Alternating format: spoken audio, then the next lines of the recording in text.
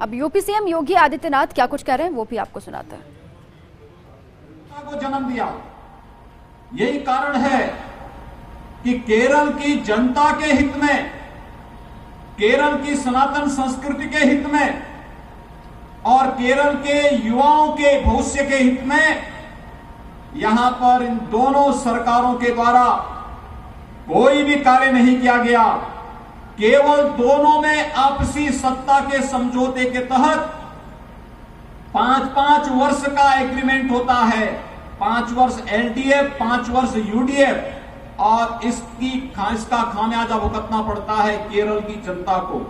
हम सब आपका आह्वान करने के लिए आए हैं कि केरल का एक ही विकल्प है और वह विकल्प है एनडीए बीजेपी और उसका एलआईजी उसका एकमात्र विकल्प है उस विकल्प पर विश्वास करते हुए उसे सहयोग देने की आवश्यकता है കേരളവും എക്കാലവും സനാതനധർമ്മത്തിന്റെ പാതയിൽ കൂടെ കടന്നുപോയ ഒരു പ്രദേശമാണ് പക്ഷേ സ്വാതന്ത്ര്യം കിട്ടിയതിനു ശേഷം കേരളത്തിൽ മാറി മാറി ഭരിച്ച ഇടത് വലത് കക്ഷികൾ കേരളത്തിന്റെ വളർച്ചയെ പിന്നോട്ടടിക്കുകയാണ് ചെയ്തിട്ടുള്ളത് അവർ മുസ്ലിം ലീഗിനെയും മറ്റ് വർഗീയ കക്ഷികളെയും കൂട്ടുപിടിച്ചുകൊണ്ട് കേരളത്തിന്റെ വളർച്ചയെ അവർ പിന്നോട്ടടിക്കുക പിന്നോട്ടടിച്ചു.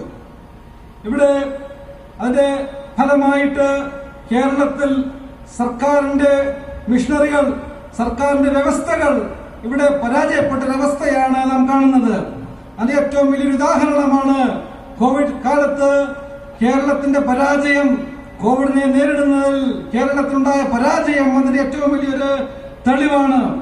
കേരളത്തിൽ യുവാക്കളെ വഞ്ചിക്കുന്ന ചെറുപ്പക്കാരെയും പുതുതലമുറയും വഞ്ചിക്കുന്ന ഒരു സമീപനമാണ് ഒരു രീതിയാണ് കേരളത്തിൽ അഞ്ചു വർഷം മാറി മാറി ഭരിക്കുന്ന ഇടതുപക്ഷ ജനാധിപത്യ മുന്നണിയും വലതുപക്ഷ ജനാധിപത്യ മുന്നണിയും കൈക്കൊണ്ടിരിക്കുന്നത്.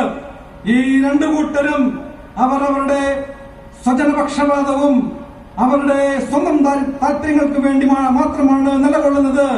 കേരളത്തിലെ ജനങ്ങൾക്ക് വേണ്ടി അവർ നിലകൊള്ളുന്നില്ല. ഇതിന് ഒരു മോചനം ഉണ്ടാവാൻ വേണ്ടിയിട്ട്? കേരളത്തിലെ മുന്നോട്ട് നയിക്കുവാൻ വേണ്ടിയിട്ട്? കേരളത്തിലെ ജനങ്ങൾക്ക് ഒരു നല്ല ഒരു ഭാവി നൽകുവാൻ വേണ്ടിയിട്ട്? ഭാരതീയ ജനതാ പാർട്ടിക്കും ദേശീയ ജനാധിപത്യ സഖ്യത്തിനും മാത്രമേ സാധിക്കൂ. അതുകൊണ്ട് ദേശീയ ജനാധിപത്യ സഖ്യത്തിനെയും ഭാരതീയ ജനതാ പാർട്ടിയെയും അധികാരത്തിൽ കൊണ്ടുവരണമെന്ന് ഞാൻ നിങ്ങളോട് അഭ്യർത്ഥിക്കുകയാണ് मित्रों सनातन आस्था की ये भूमि लगातार केरल के वासियों के साथ विश्वासघात की भूमि बनती जा रही है कांग्रेस और मुस्लिम लीग का जो गठबंधन है और इसके साथ ही पीएफआई और एसटीपीएफ किस प्रकार के षड्यंत्रों में लिप्त हैं? ये किसी से छुपा हुआ नहीं है। लगातार इनकी राष्ट्र विरोधी गतिविधियाँ।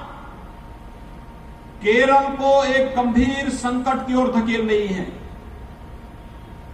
लेकिन यूडीएफ और एलडीएफ दोनों ने आँखों में पट्टी बाँध करके इनकी हर प्रकार की राजक और अवैध गतिविधियों को पूरी छूट दे रखी है। यही कारण है, ना यूडीएफ की सरकार और न एलडीएफ की ही सरकार एंटी लब जेहाद का कोई कानून केरल के अंदर बनाने में पूरी तरह विफल नहीं है। उत्तर प्रदेश के अंदर हमारी सरकार ने एंटी लब जेहाद का एक्ट बना करके आज उत्तर प्रदेश के अंदर लागू कर दिया है।